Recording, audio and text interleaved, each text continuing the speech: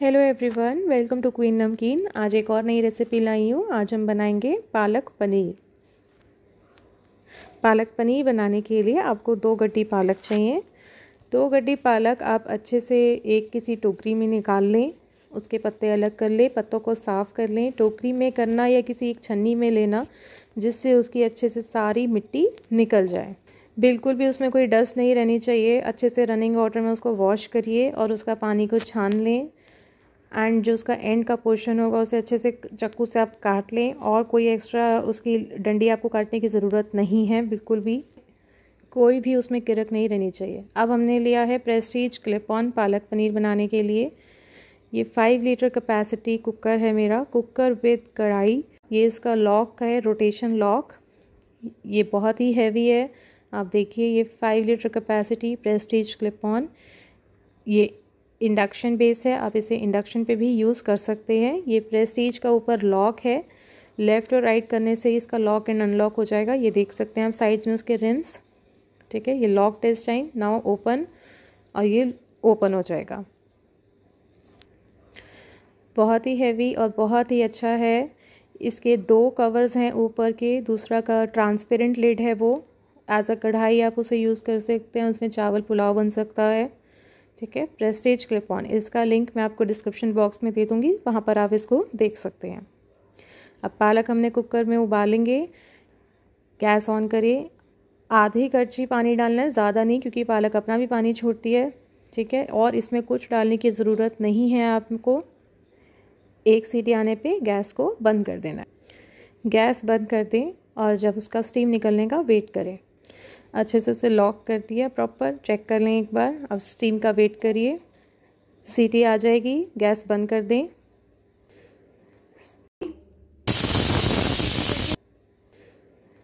सीटी के बाद गैस बंद कर दें और उसका वेट करें स्टीम निकलने का। जैसे ही स्टीम निकले, आप देख सकते हैं, उसका कुकर का ढक्कन खोल लीजिए। गैस नीचे से बंद होनी चाहिए। अब नीचे पालक देखिए, आपकी अच्छे से गल चुकी है। अब इसको ठंडा करके इसकी हम पेस्ट बनाएँगे। उसका जो नीचे पानी बचा है, उसको फेंकना नहीं है। उसे हम यूज़ करेंगे बाद में, उस पानी को, ठीक है? और जब ग्रेवी बनेगी, इसका मसाला बनेगा, उसमें वो सारा पानी यूज़ हो जाएगा। अब आप पालक को छन्नी में निकाल लें। छन्नी में निकाल के आप देखेंगे कि उसका जो सारा पानी है, वो सारा नीचे आ जाएगा, ठीक है? और उसमें वो आराम से फटाफट ठंडा हो जाएगा। या ठंडी हो जाए प्रॉपर चेक करके ही मिक्सी में पीसना है। अब हम पालक का तड़का बनाएँगे। तड़का बनाने के लिए आपको एक अदरक चाहिए। अदरक ज़्यादा लेना, कद्दूकस करनी है और चार से पाँच आपको लहसुन की कलियाँ, दो सूखी लाल मिर्चें, आधा बारीक कटा प्याज और दो टमाटर। प्रेस्टीज क्लिपॉन लेंगे हम। उसमें हम दो चम्मच घी डालेंगे। दो से ढाई चम्मच डाल सकते हैं। बाकी सारे मसाले डाल के उसे भून लें अच्छे से। अच्छे से भूनना है, चलाइए। करछी, नीचे ना लगे, ठीक है? जब नीचे सारा मसाला भून जाए, प्याज डाल के भूनिए। प्याज भून जाएगा, आपने अपनी टमाटर की पेस्ट डालनी है। टमाटर का जो मिक्सी में बच जाता है, उसको आप वही पानी यूज़ करिए, पालक का बर्तन को अघाल लें। टमाटर वेस्ट नहीं होना चाहिए बिल्कुल भी। वो अघाल के आप उसको यूज़ करिए। कोई भी चीज़ हमने वेस्ट नहीं करनी, ठीक है? ना टमाटर, ना कुछ। आप देखिए, अब आपका जार बिल्कुल साफ़ हो जाएगा। अब करची चलाइए अच्छे से। अब मसाले डालिए। एक चम्मच लाल मिर्च, सूखा धनिया एक चम्मच, आधा चम्मच हल्दी। अच्छे से उसे चलाइए। कोई मसाला और डालने की ज़रूरत नहीं है। उससे पालक का स्वाद ख़त्म हो जाएगा। पालक में अपना ही स्वाद होना चाहिए। ठीक है? अच्छे से चलाइए करची जब टमाटर ड्राई हो जाएगा, उसके बाद हम अपनी पालक डालेंगे। पालक पीसने के बाद उसको आप चेक करिए, उसमें कोई भी डंठल नहीं रहना चाहिए। सारे पत्ते अच्छे से क्रश हो जाएँ, बढ़िया पेस्ट बननी चाहिए, ठीक है? उबालते समय आपने सिर्फ़ कुकर में पालक डालनी है और कुछ नहीं डालना। इससे देखिए, पालक का कलर बहुत ही बढ़िया रहता है और उसका अपना स्वाद रहता है। अब तड़का आप देखिए, उसके अंदर अपना पालक मिक्स करना अच्छे से, धीरे धीरे डाल के। चेक करके पालक में कोई डंडल नहीं होना चाहिए।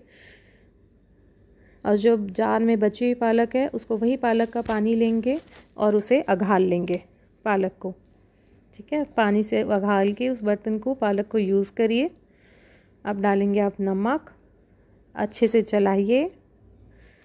बढ़िया तरीके से और उसे एक बार अच्छे से चलाना है नीचे चिपके ना लगे ना कुछ भी सारा मसाला अच्छे से मिक्स हो जाए। बड़ा कुकर मैंने इसलिए लिया है क्योंकि जब पालक पकती है तो छींटे आती हैं इसे छींटे आपके ऊपर नहीं आएँगी वो पालक जो छींटे आएँगी वो सारी कुकर की वॉल्स पे लगेंगी आपको बिल्कुल भी कुछ नहीं होगा।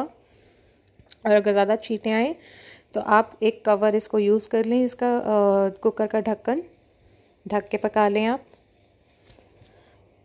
और अच्छे से पालक को चलाइए। उसके बाद पनीर कट कर लेते हैं। ढाई सौ ग्राम पनीर लिया है। उसके अच्छे से पीसेस करने हैं।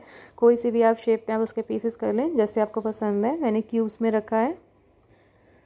फुल गैस कर दें। दो मिनट के लिए पनीर को पकाना है, वरना ज़्यादा पकाओगे तो पनीर आपका हार्ड हो जाएगा। पालक हमारी पक चुकी है। तो दो मिनट के लिए बस पनीर को सॉफ्ट रख, करना है कि इससे फ्लेवर आ जाए उसमें। पानी बहुत ही बढ़िया हमारा हो चुका है। ज़्यादा भी नहीं सुखाना, क्योंकि उसका जूस ख़त्म हो जाएगा। तो अब आपको गैस बंद कर दें। Now ready to serve thank you for watching my video subscribe my channel share my video with your friends and family bell icon को प्रेस करना ना भूलिएगा। Thank you